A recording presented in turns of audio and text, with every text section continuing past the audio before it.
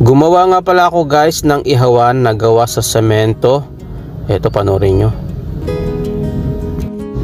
At gamit ko pala itong dalawang styro box na ito na napulot ko lang sa basurahan. Ayan.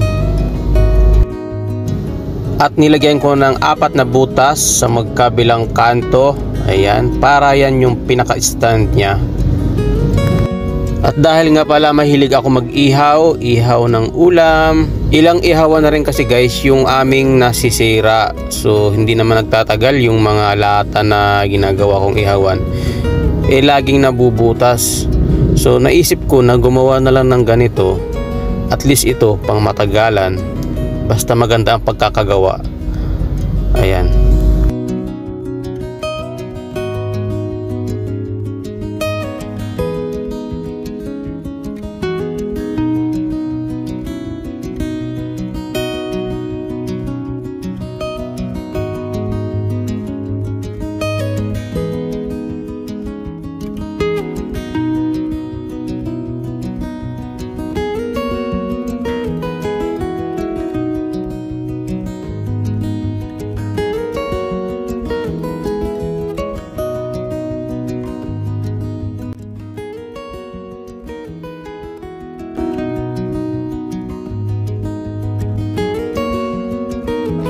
Thousand years later.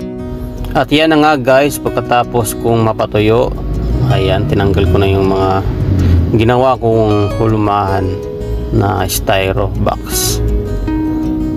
Tatlong beses ko rin pala yan guys, binasa ng tubig tapos pinatuyo. So nung medyo okay na siya, ayan na yung finished product natin. Okay na okay na siyang gamitin.